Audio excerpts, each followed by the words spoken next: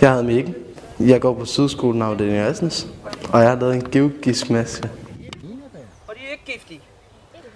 Man bruger enebær i... Vi, øh, havde det princip, det her det var grønt, fordi det, er det, det er vandet.